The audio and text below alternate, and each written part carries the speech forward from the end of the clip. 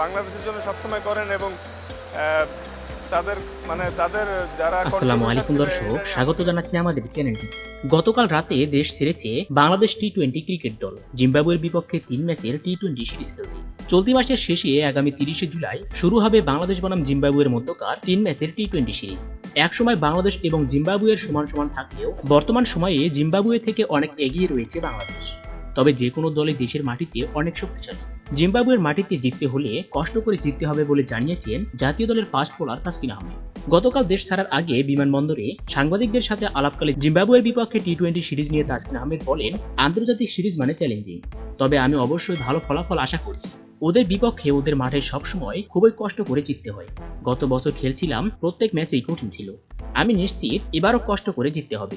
তবে অবশ্যই লক্ষ্য থাকবে সিরিজটা জেতার আমাদের সামনে আরও বড় দুইটি টুর্নামেন্ট রয়েছে টি টোয়েন্টিতে হয়তো আমরা ভালো পারফরমেন্স করছি না, তবে আমরা যদি আমাদের সেরাটা খেলতে পারি, তাহলে কোনো কিছুই অসম্ভব নয়। টি টোয়েন্টি দলটা নব্বই ভাগই তরুণ। ইনশাল্লাহ ভালো কিছু হবে আশা করছি। দর্শক, বাংলাদেশ কি পারবে জিম্বাবুয়ের মাটিতে তাদেরকে হারিয়ে টি টোয়েন্টি এবং ওয়ানডে সিরিজ জিততে? অবশ্যই কমেন্টস করে জানাবেন আপনার মূল্যবান মতামতটি। ধন্যবাদ এতক্ষণ আমাদের সঙ্গে থাকার জন্য।